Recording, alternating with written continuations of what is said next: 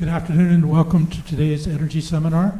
Um, I'd like to say three things introducing the session today. One, uh, heartfelt thanks to our, speaker today, who was originally supposed to speak next quarter, but we got a call, Rachel, about a week ago, uh, and our speaker for originally planned speaker for this week was taken ill, and fortunately Jeff was uh, willing on less than a week's notice uh, to come and do a talk today, and there may, there may be a, a reason for that, which I'll get into. Uh, second of all, I've admired the work of Jeff uh, for about 10 years since he originally developed the energy policy simula- simulator for energy innovations, and particularly the level of detail in the industrial uh, sector of that model. And third, but not least, I'd like to introduce uh, uh, the person who will introduce uh, Jeff formally today, Nick Save, an old friend, not an old friend, but a friend I've had for a long time, first as a graduate student and then as a uh, postdoc, and then as a, um, a colleague in the EIPER program, where he was the uh, lecturer for the capstone class, working uh, with the students who were doing joint MBA, JD, uh, uh, professional uh, degrees with the EIPER master's program. Nick uh, has a BS in biology from Stanford, and as I mentioned, a PhD in environment and resources. Uh, was both a lecturer in EIPER and worked in, I think, four um, centers here, including uh, being a senior fellow at the Effective Philanthropy Learning Initiative and a fellow at the Stanford Center for Ex- Ethics and Society, Haas Center for Public uh, Service and the Center for Philanthropy and Civil Society. And he, I think, worked a little while after that uh, at Meta. And uh, last July, he told me has joined um, Jeff's group. So without further ado, I'd like to call up Nick to introduce Jeff. Thanks. Hi, everyone. Um, yeah, so I've had the pleasure of working uh, both with John and, and with Jeff. Uh, so, to give you a little background, uh, Jeff Rissman is the Senior Director of our industry program uh, at Energy Innovation. He's going to be talking today about a lot of material from his new book, uh, Zero Carbon Industry, and that really delves into the technologies and policies that are necessary to eliminate greenhouse gas emissions across the industrial sector. Uh, the book zooms into specific industries like cement, as well as giving a holistic uh, solutions to major concerns like how to get industrial heating uh, off of fossil fuels uh, and provides a policy roadmap for the coming decades. Uh, Jeff is also the co author of Designing Climate Solutions, a policy guide for low carbon energy. Uh, this year, he was appointed by the Secretary of Energy, Jennifer Granholm, to serve on the DOE's uh, Industrial Technology Innovation Advisory Committee. Uh, as John mentioned, he's the creator of the Energy Policy Simulator. It's an open source computer model that quantifies the effects of various energy and environmental policies I highly encourage those of you that are interested, check it out. Uh, it's quite intuitive to use, uh, and there are very many uh, different versions for different countries and regions across the globe. Uh, you can use it to predict the outputs of policies from fuel use to emissions, cost savings, to electric vehicle deployment, what's going on in the power sector, all of that. Um, Jeff holds an MS in environmental sciences and engineering and a master's in city and regional planning both from UNC Chapel Hill uh, and is a Stanford alum, having received a BA in International Relations with honors. Oh, thank you, Nick. Really appreciate it. I think, yeah, probably the clip-on is, mic is good. So, uh, pleasure to be back on campus uh, where I did my undergrad. Um, thank you, John, Nick, and Rachel, for uh, everything. And without further ado, let me get into the material. So, as Nick mentioned, um, this is a, a, preview, a taste of some of the material in zero carbon industry, transformative technologies and policies to achieve sustainable prosperity, which is being published tomorrow by Columbia University Press. The uh, book is a complete roadmap. It aims to really take you from, even if you don't know much about the industrial sector, it will tell you what are these industrial firms? What are they do? How do they produce materials and goods today? And what are the technologies that can allow us to produce all those things cleanly? And finally, what are the policies that could get those technologies deployed and commercialized and scaled up? Um, in this talk, I'm going to focus on material from the electrification chapter, chapter 6, and a bit on the policies, as well as a quick high level overview, because after all, I can't cover an entire book in 30 minutes. So, um, this is an overview of global um, greenhouse gas emissions across multiple sectors. It shows that industry is about a third of human caused greenhouse gas emissions, including emissions from electricity purchased by industry. If you exclude purchased electricity, you make electricity its own sector, then industry is about a quarter of human greenhouse gas emissions. Either way, it's enormous and extremely important to address if we're going to meet any of our uh, climate goals or stop climate change. Delving into the industrial sector, you can break it out into specific industries like the iron and steel industry, chemicals industry, metallic minerals, which primarily is cement. Um, and these top three are about 60% of the world's industrial emissions. So these are making core materials that then go on to be made into final products like vehicles or buildings um, or plastics and fertilizers and so on. Um, you can also slice and dice it by country. And what stands out is when you do that is that China has an enormous role in global industrial emissions. China is responsible for about 45% of, of indu- industry sector emissions. After that, India and the United States are number two and number three. The European Union grouped together would also be in the top four. So that's a quick high level look at industry, um, and there's more on all of that in the book. But I want to delve now into electrification in particular, which can be an overlooked area, especially um, because there's often a lot of excitement around clean hydrogen and solutions like that. And sometimes a more straightforward solution can be um, neglected. So, to give some framing for this, Industry actually uses fossil fuels for two purposes energy and feedstocks. Energy means fossil fuels that are burned for heat or power um, and uh, emit greenhouse gases right there when they're burned. Then there are feedstocks, which are fossil fuels used as source materials, chemical reagents that go on into making up uh, petrochemical products like plastics and fertilizers and, and uh, so on. Um, this is a breakdown of the fossil fuel use by, uh, of United States industry. You can see feedstocks is there in the upper, upper bar. And then for energy, it's broken down into two large bars, boiler fuel and other process heating. Those two segments are basically fuels that are being burned for heat. All the rest, which is to the right side of that center bar, are the non heat uses of combustible fuels by industry, um, stuff like operating a diesel engine um, or, or, the like. And those are typically, or non process uses, which means um, building heating or cooling for the comfort of workers, or moving items around on an industrial site using a forklift.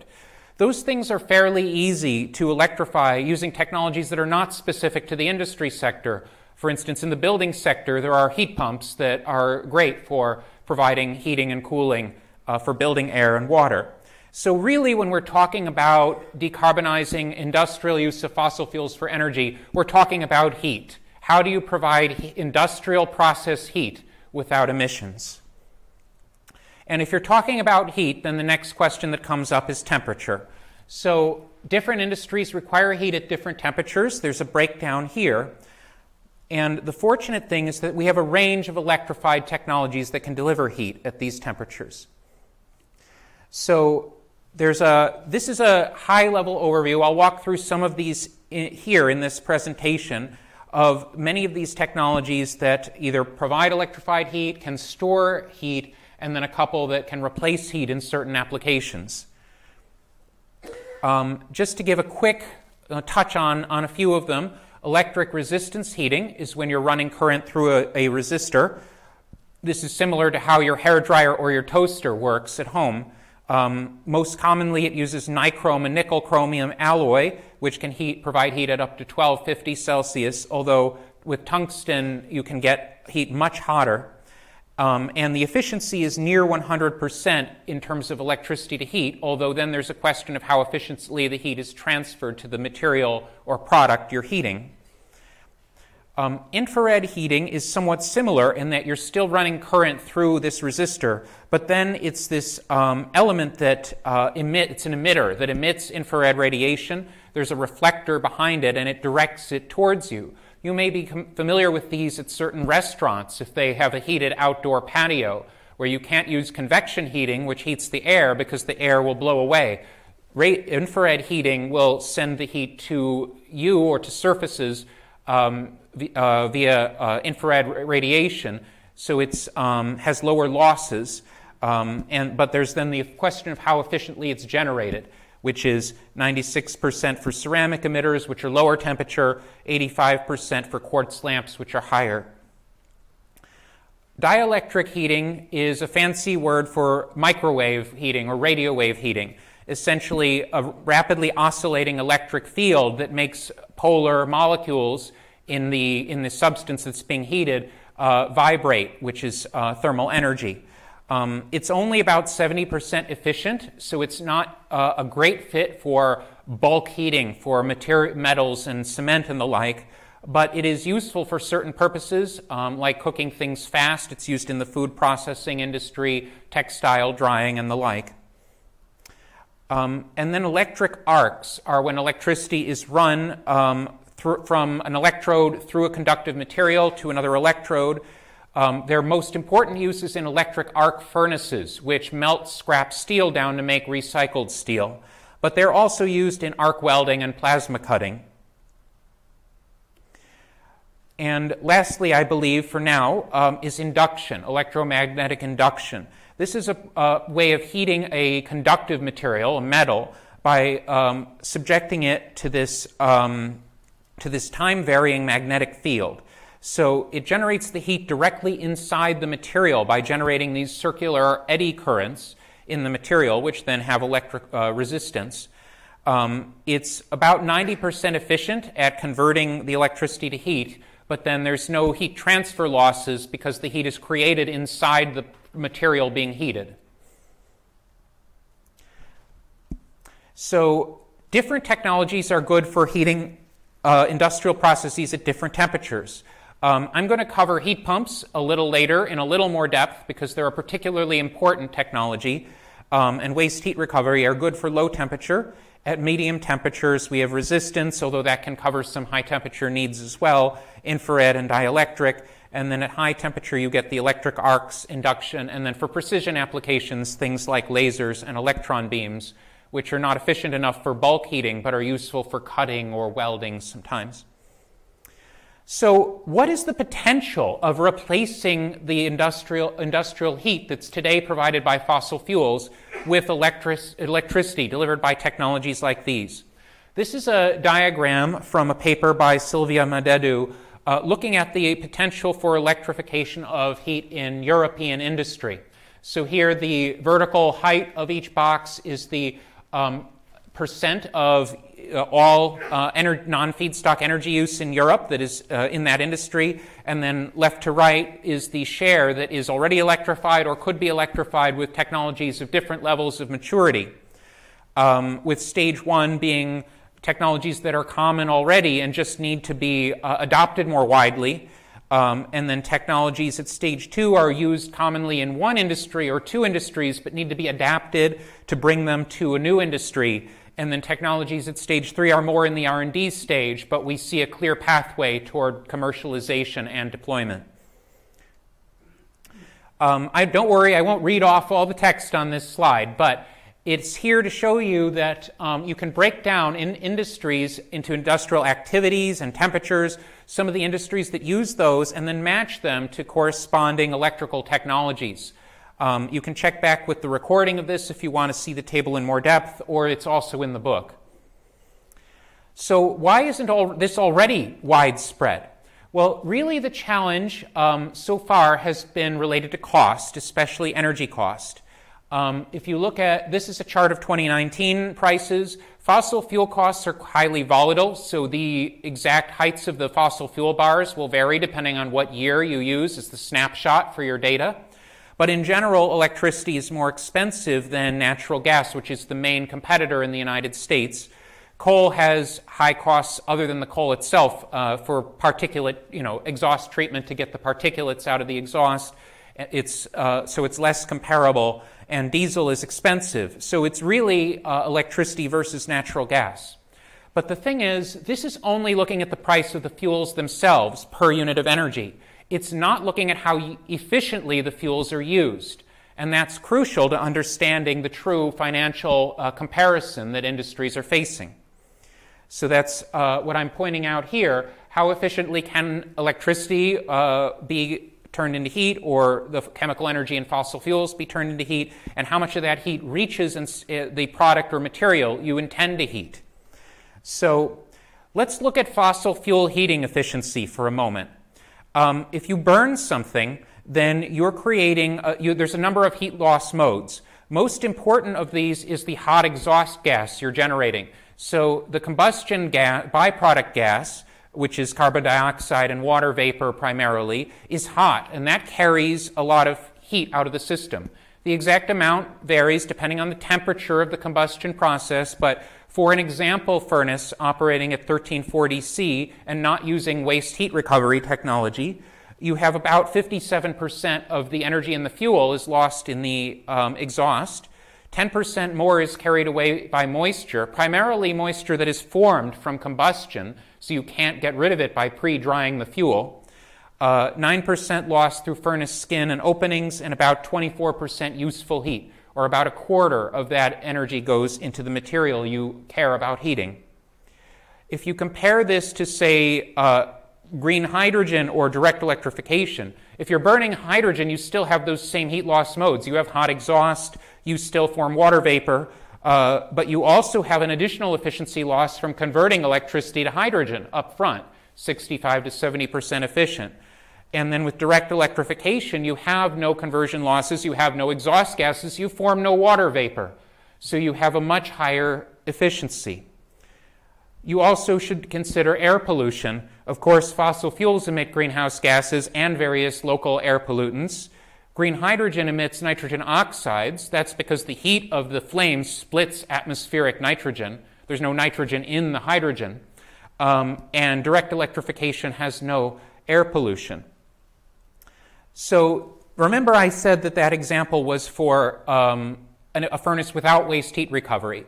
And to be fair, we have to look at what waste heat recovery can do. Um, now, waste heat recovery can reduce those heat losses by 35 to 65 percent, depending on the technology and um, the exhaust temperature. Uh, but recovered heat is not as useful as the heat in the first place because it's at a lower temperature and, um, and uh, can only be used for, for certain purposes, like preheating the combustion air or in some other industrial process. So, one of the quick takeaways here is to use green hydrogen only where you actually need it. It's so inefficient to form it and burn it for heat that you don't really want to do that. You'd rather use it, for example, in replacing the feedstocks. That the first bar we saw on that chart earlier, because you can't form plastics or fertilizer out of pure electricity, you need material to form your products. Um, that's one of the best uses for green hydrogen. Another is chemically reducing iron ore to make metallic iron. But for heating, in general, electricity is the best route. Now, I want to take a quick look at low temperature heat, which means up to about 165 degrees Celsius. 100 C is boiling water. So, at this lower temperature range, uh, as we saw in the previous graph, fossil uh, fossil combustion is more efficient than in that high temperature furnace example. The very best uh, industrial boilers can achieve uh, fuel to heated steam efficiency up to 90%. It's a little higher if you're going to hot water. It can get up to 95 or more, but industry usually requires steam, not hot water. Um, in practice, in the real world, it isn't quite that high. China, which, as we saw, is the largest industrial fuel user, typical boi- steam boilers are 70 to 79 percent efficient. But the electrical alternative at this temperature range is also more efficient. That's an industrial heat pump. So here's a graph showing, well, first, what is a heat pump? An industrial heat pump is like a um, refrigerator or an air conditioner. It moves heat from one place to another, a heat source and a heat sink. Although, unlike the refrigerator, where you, what you care about is the part that's cold, with the heat pump, what you care about is where it's moving the heat to, where it's getting hot. Heat pumps can deliver temperatures at uh, commercial heat pumps at up to about 165 degrees C, and their efficiency depends on how much temperature increase you're asking the heat pump to provide.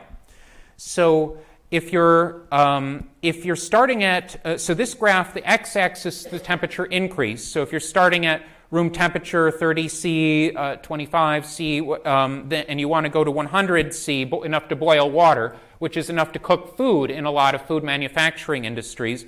The increase will be, you know, uh, 70, 75 C, and if you look at where that is on the graph, it's about 2.53 times. So, uh, coefficient of performance, 2.53, that refers to the efficiency of uh, heat delivery.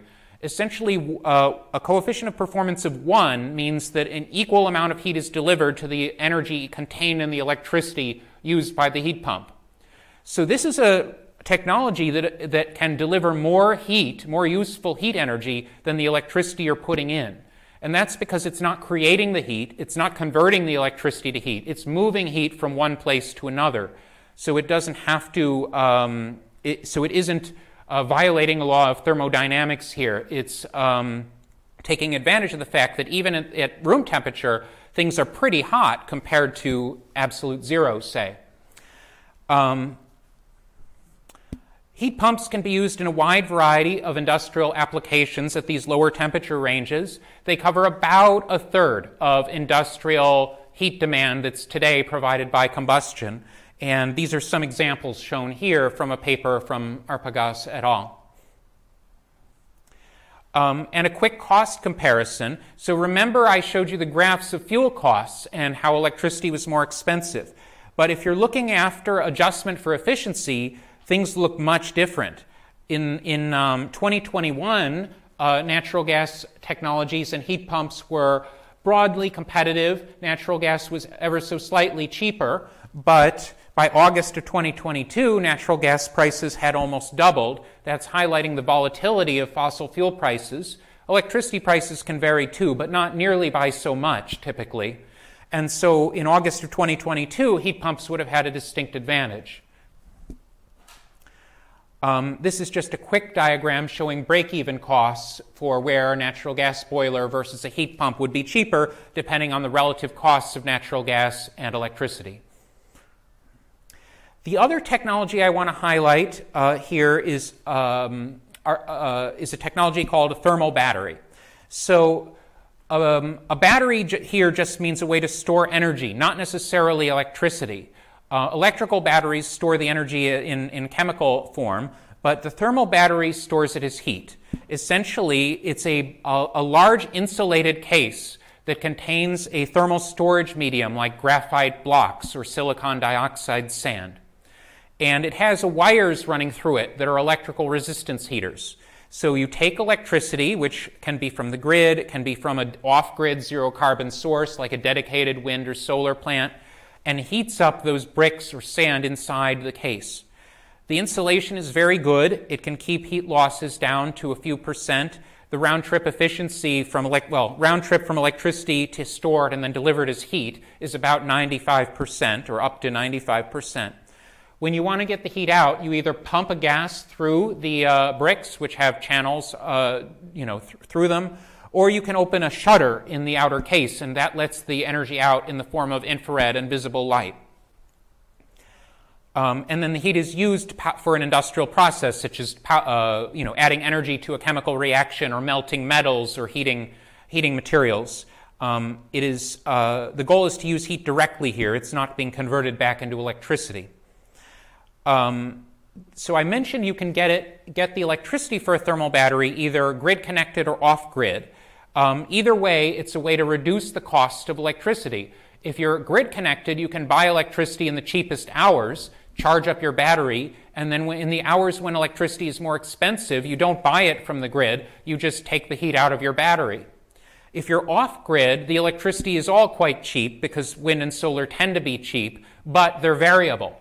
and industries want to be able to operate uh, reliably and not just when it's sunny or windy. So, in that case, you charge up the battery when there's plenty of sun and wind, and you use the battery to ride out the times when it's less sunny or windy.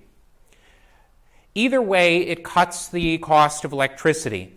So here, the, gr- the green squares are what it would cost to purchase electricity from the grid in every minute when the, elect- when the industrial facility needed it. In the red diamond is a thermal battery. In this case, it's off grid generation, but uh, the cost results are pretty much the same for uh, a grid connected thermal battery. It cuts the cost uh, relative to buying the electricity whenever you need it down to one half to one third of the, um, of the grid cost and the natural gas in these locations is in blue. It also varies by location. Um, and you can see that with the thermal battery, it's making electricity very competitive with natural gas, whereas it wasn't really when it was the green squares uh, straight from the grid. So um, these are all, all of these technologies are based on understood scientific and engineering principles. The real challenge is commercial application there just hasn't been demand for electrified versions of some types of industrial equipment, electrified cement kilns, and so on. Um, so, policy can help to overcome this chicken and egg problem and kickstart demand for the equipment. Then equipment is available. Then there's more. De- then there's clean production and more demand for clean products and more demand for the equipment. And that brings us to the policy section of the talk. So I mentioned at the beginning I would cover a bit on policies, uh, and these are broader than just for electrification of heat. These are policies that can help promote technologies for industrial decarbonization and accelerate the transition to clean industry.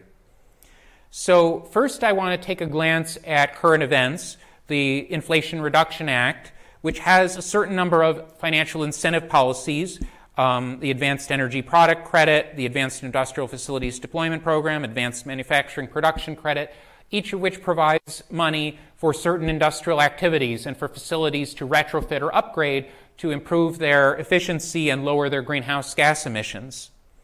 There are also numerous parts of the um, government that provide support uh, apart from, even before and after the Inflation Reduction Act. Some of these offices that are here uh, for instance, the Loan Programs Office deals with uh, loans. Well, they have to be repaid, but they're low interest loans and um, are available for technologies that the government wants to support, uh, and so on, as well as national laboratories, which can provide technical support to industrial firms that want to refine their technologies. Um, there, this is taking a step back from the US and looking at just in general, in any country that wants to further clean industry, um, what are some useful policy approaches? Well, emission standards, of course, on boilers and other industrial equipment, since electrified equipment doesn't emit um, emissions, whether greenhouse gases or conventional pollutants. Uh, one of the ways to comply with emission standards is to electrify. Um, you can also have efficiency standards because, as we pointed out, electrical equipment is far more efficient than combustion equipment because of those heat losses. Uh, in that case, though, you want the, the efficiency standard to be technology neutral and fuel neutral. Because if you set a, one standard for natural gas boilers and another for electrical boilers, you're uh, then switching from natural gas to electricity is no longer a, a method of compliance. Um, there was a more lax standard there for natural gas boilers. Um, so that's uh, one benefit of technology neutrality when designing a policy like this. There's green government procurement. So one thing that um, that not, not that is not widely known is that governments are huge purchasers of many of these industrial materials. Governments buy steel and cement that go into roads and public infrastructure, bridges, government office buildings, public schools, you name it. And, uh, and they fund a lot of this uh, um, through their, uh, or they buy it directly. So either way, gov- government can decide how they want to spend their own money. They can say, let's set aside 5%, uh, let's say, to start with, of our purchases of steel for clean primary steel made through innovative zero carbon processes maybe from hydrogen or, or electrolysis of iron ore. And then a steelmaker knows, hey, there's going to be a market for this. Even if the steel costs a little more than dirty steel, I will have a way to sell it so I can invest in a production line to start producing clean steel. It gives them a market, they can scale up, this drives down the costs. As it becomes more available and the costs come down, government can ratchet up its purchases. Maybe it can start buying 10% and then 20% of its steel from these innovative new technologies. And then they can break into the primary market, and then once they're big enough, other technologies, financial incentives can come into play, uh, and so on. So there's a, an ensemble of policies that can help. But green government procurement is a great way to get things started. Um, I've mentioned some of the financial policies in passing. Um, many of, uh, one of my favorites is a green bank because it's self-sustaining. It lends, it leverages its money uh, to um, get uh, private lenders to help provide money in, to uh, industri- innovative industrial firms that want to install clean technology. Um, and it's repaid so that the Green Bank uh, can then go on and help another and another firm without having to get new appropriations for government every, from government every year. Um, there's R&D support, whether that's through technical labs, uh, national labs directly working on something, or government funding of research, um, and so on, which is in academia as well as dedicated research organizations and in private companies. And there's carbon pricing, which we have in a number of U.S. states now and many countries around the world. Um, I won't read all this. This is just breaking down some of those into more specific who, in the U.S. has policymaking authority over some of those standards. And I want to sort of close by looking at a bit of a broader roadmap. So, um, if you're starting where we are today and you want to reach a future where, all, where you have zero carbon industry, where everything is produced without greenhouse gas emissions, um, you can break it down into three broad phases. And I'm calling these, I'm, i use phases rather than specific years because the years vary depending on the country. Not every country around the world will reach zero carbon industry in exactly the same moment. So um, they'll progress through phases at a bit of a different rate, but this, so the value here is not about precise timing. It's about ordering. It's about understanding where are the low hanging fruit and which fruit are a bit higher up on the tree.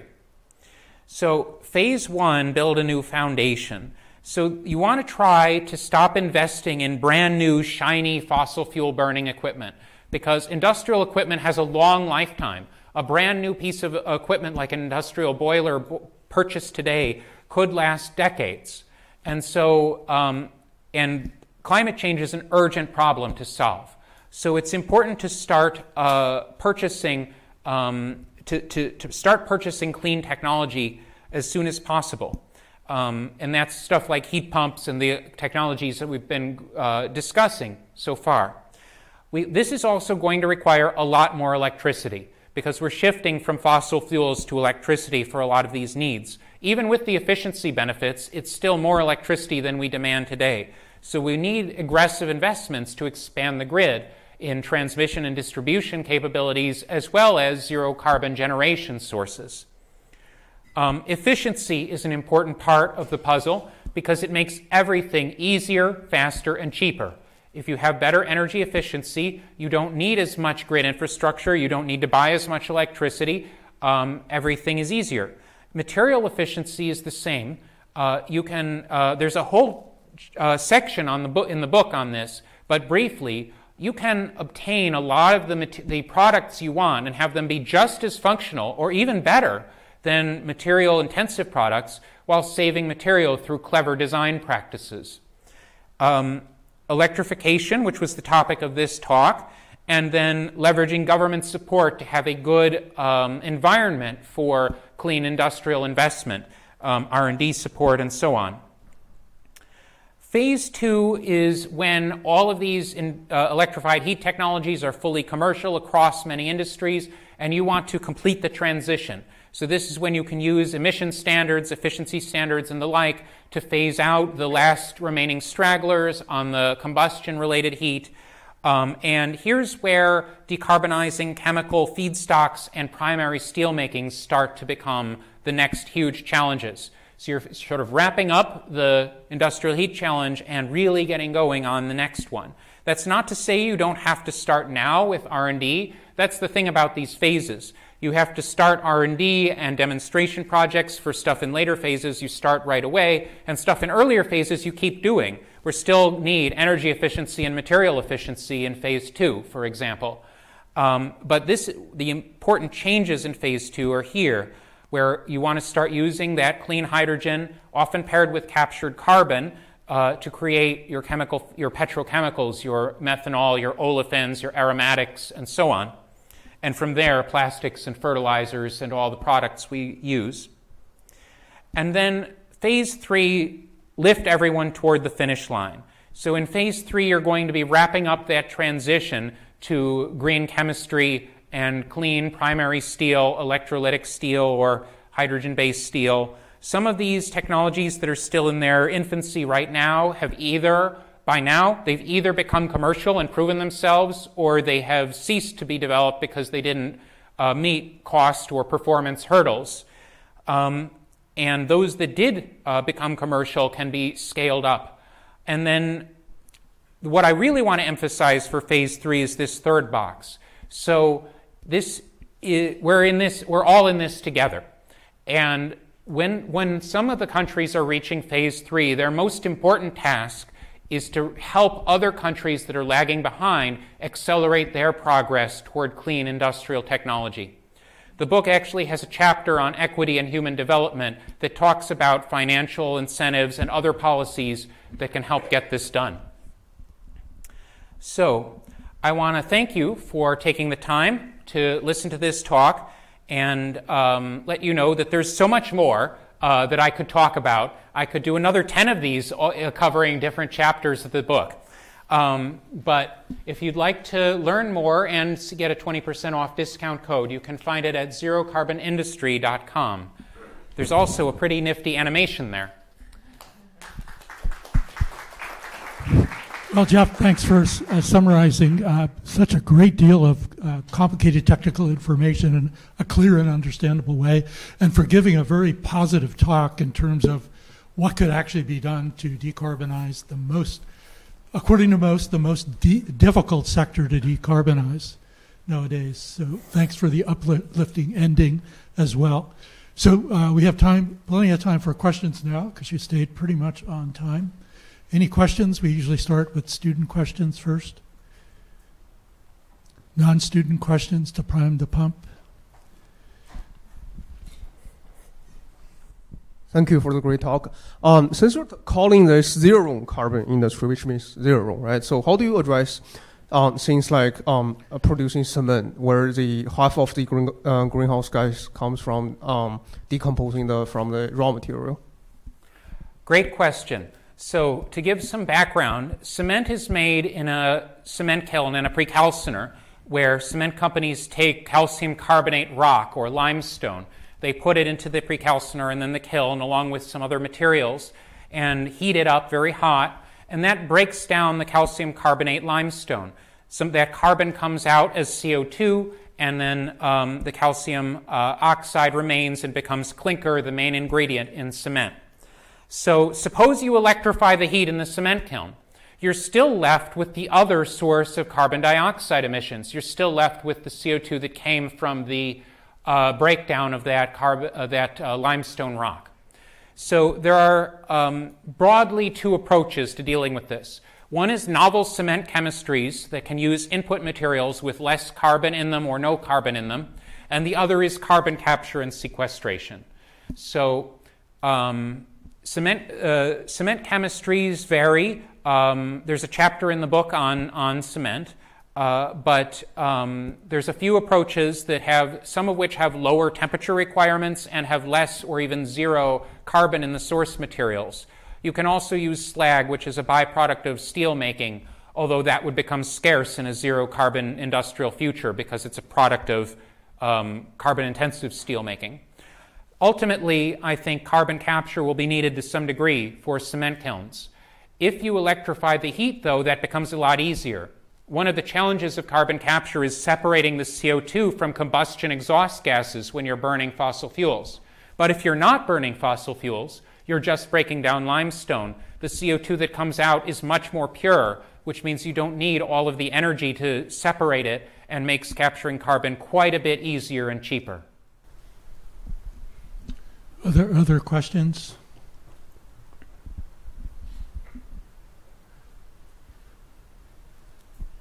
Over on that side. So, uh, how are we doing? I mean, if you look at, say, the factories that have been just uh, created in the last five years, new in, new industri- industrial factories, steel making, cement making, what percentage of them are adhering to these kind of practices, and what percentage are going the old routes? Thank you. We're still pretty early in this transition, um, which presents some challenges, particularly for the climate um, and opportunities, particularly for VCs and, and startups and those with uh, and, re- and researchers that want to get their new technology in the door at the ground floor. Um, there are so for steel making you asked about.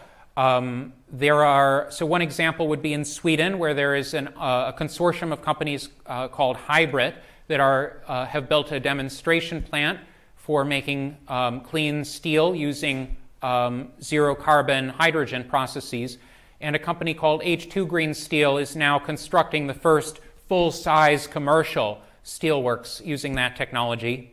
Some of these technologies, like industrial heat pumps, are a little bit further along because there are already a number of facilities that use heat pumps to provide their heat. Um, but it's still a minority. Uh, industrial heat pumps represent well under 2% of the heat pump market, and most factories being built today are still coming in with fossil burning technology. Um, so uh, there's much to be done. Oh, now we have, thanks for the pump priming. We have one up there. Now I have a number of questions. Great. Thank you for your talk today. Um, I was wondering about like the introduction to all of the industries you mentioned today. So a lot of them focuses on like the point um, emitting sources or like the things that can replace the point emitting sources, right, for zero carbon industry. But then on the other hand, um, if we look at the like mobile emitting sources, like the transportation sectors whatsoever, how are we going to deal with the emissions from that part? From uh, the transportation sector and other sectors than, than industry? That are like mobile, not like the point emitting sources. Sure. So I'll speak to it briefly, although um, my focus is on the industrial sector. Um, so with the transport sector, there's, I think, in my mind, the big difference is on-road and, and non-road type modes. For on-road, vehicle electrification is going to be the most important option here because um, it's a proven technology. It's already rolling out.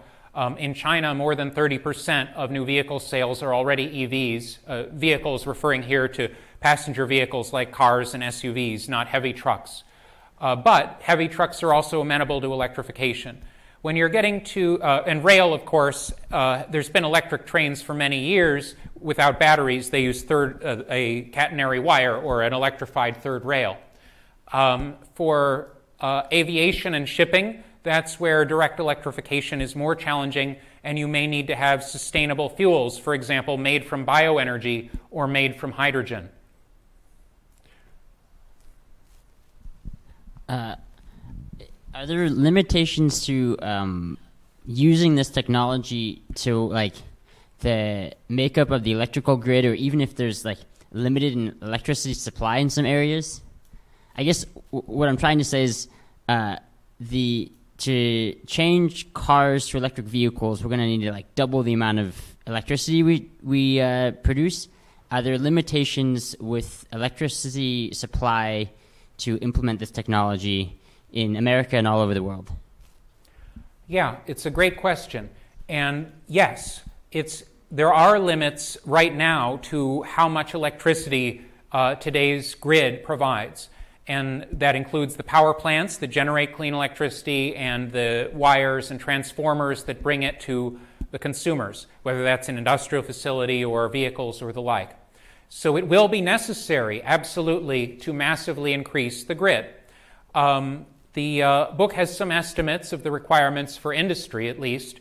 Um, to directly electrify all industrial heating processes um, in, the, uh, in the United States, or, um, or uh, uh, in the United States anyway, um, it's, a, it's about double. It, it about, uh, it's about an, um, doubles the amount of uh, grid requirements. Globally, it's a little less. I think it's 65, 70%. The, I forget the exact number. Um, and then if you want to make green hydrogen for the feedstocks, that will further increase grid requirements beyond the direct electrification. So I think this is a key challenge, no doubt and a reason that we need to be investing in, in, in, expanding and improving the grid, even as we roll out these new industrial technologies. Quick question, kind of following up on his. Uh, how is China doing in all of this? Because, uh, I mean, they're such a big part of it, but then also their electricity is like a lot more coal based, and I don't know if that's going away anytime soon. Yeah. Uh, China is incre- in, incredibly important for the globe and for industry. Um, China is interesting because they're, they're doing a lot on both sides, right? They're deploying a massive number of renewables, of wind and solar, but they also have a lot of coal power plants powering their grid, and unfortunately, they are still building more, even as they are also building a huge amount of renewables. So, uh, and similarly with the vehicles, I think I mentioned that 30, over 30% of new vehicles are EVs. China is the world's largest electric vehicle market. They're helping to push that technology forward. But when their grid is still coal heavy, um, you may not see the emissions benefits right away.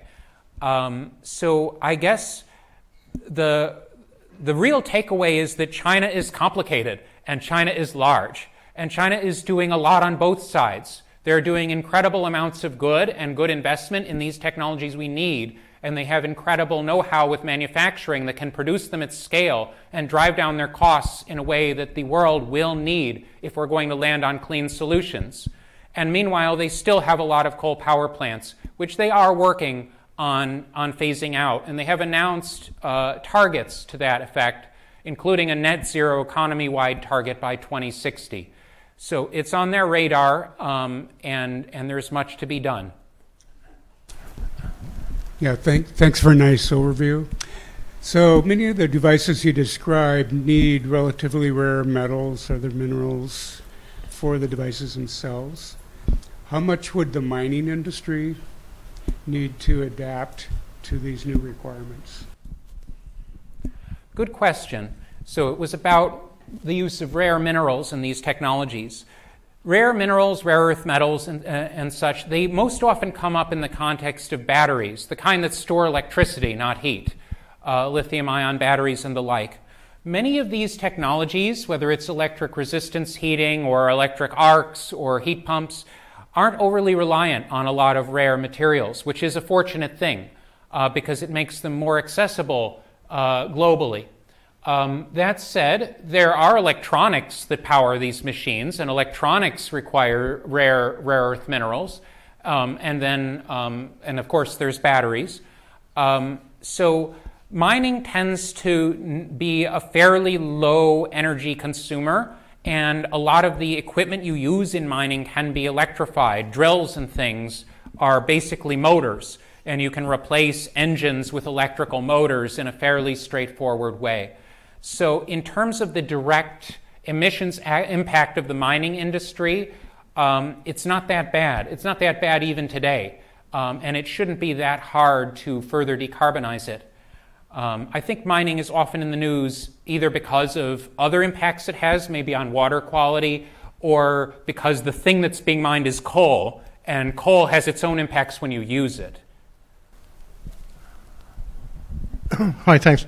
You talked about policy for uh, lower carbon use in industry, but I was trying to think about how policy overall for lowering um, greenhouse gas emissions would affect you. For example, would it make, you know, the public are very familiar with electric cars and other use of electricity, but not industry so much. So there's a lot of public policy pushing those things. So do you see that being an issue, and also which which should go first, industry changes or electric cars, or wh- where's the most effective way of using the slowly increasing amount of low carbon uh, electricity production? Well, you're right that industry has not been enough of a focus, either in the news media or with policymakers and policy yet.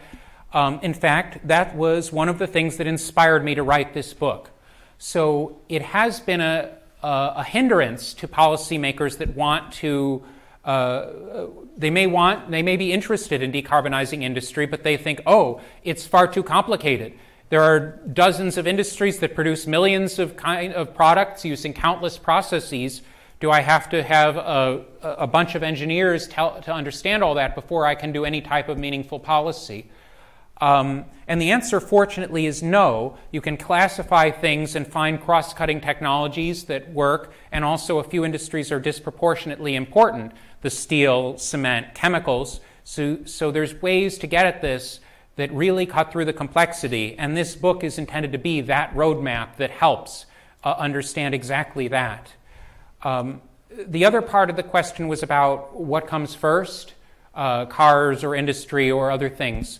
Um, I, uh, I think uh, maybe this is unsatisfying, but my answer is we have to do all of those things, and none of them should be waiting on the others. So I think it's important to accelerate decarbonization of transport and the grid because you need to be cleaning up the power that all these technologies are relying on. But if you wait until the grid is clean before you start buying electrified industrial equipment, then you're delaying the start of those purchases by years or decades, and then you're locking in, you know, that shiny new industrial machine that burns fossil fuel will then run for 10 or 20 more years, even past when the grid has become clean. So it's better to get those in place now, even if the grid is still dirtier, so that as the grid cleans up, the machines become cleaner uh, automatically. Um, so really, it's, it's, it's got to be uh, all at once. Great. Any any other questions? Actually, had two sh- very short ones. Since you're an advisor to the administration, I do think uh, public visibility of these technologies will probably be, see if you agree with this, enhanced by the creation of massive amounts of jobs to build the infrastructure to actually produce uh, the energy in this way. Do you, is that what you hear in talking to the administration? It seems like uh, in the evening news every week we have new openings in old smokestack uh, manufacturing areas that feature technologies like this. It might be so far mostly in the EV space, but I think this kind of technology, steelmaking, you know, that was kind of back, backbone when I was young, was one of the backbones of the development of U.S. manufacturing. Yeah. So industry is an incredibly important source of, of jobs, often high quality jobs. And it is a focus of, of this administration uh, and among others, among other countries and, and, and other administrations, to preserve American jobs and, and, and create high quality jobs, or in whichever country uh, the policymakers represent. Um, so, um, the good thing about this transition is that it can stand to create jobs and help promote um, economic strength. So this, as, as you can tell from all this discussion of the new technologies, the grid expansion, it requires a lot of investment in new capital equipment and maintenance of that equipment. And spending in an economy generally translates into jobs as those, that money gets paid to people who then respend it on things and so on. And in particular, shifting the spending from fossil fuels to these other things, to grid expansion and electricity purchases, will generate more jobs for one thing, uh, fossil fuel, fuel, industries have a fairly low labor intensity. So every of the dollar you spend, uh, a higher share of it goes to non-labor things. Um, you know, large amounts of capital equipment and and tankers and whatnot that are piloted by a small number of people. Um, and then, uh, even though the U.S. is such a large oil and gas producer, we still import uh, fossil fuels, so a significant share of that money also goes overseas. Um, so the, this transition can be a large job creator. Um, and if you're going to invest in something domestically, there's hardly anything that makes more jobs than productive equipment like industrial machinery because it boosts the productivity of workers and eliminates, for instance, health impacts from uh, particulates, which cause thousands of, of deaths and countless illnesses every year in the United States, which, aside from being important from a moral and humanitarian standpoint, also is a drain on the economy. So, um, I think it, there's a the important message is that this can be done in a way that makes the country stronger in terms of jobs and its and its financial and, and GDP uh, standing. Great. Uh, on that note, uh, let's thank Jeff one last time for a great talk and the audience for a great questions. Thank you all so much for coming.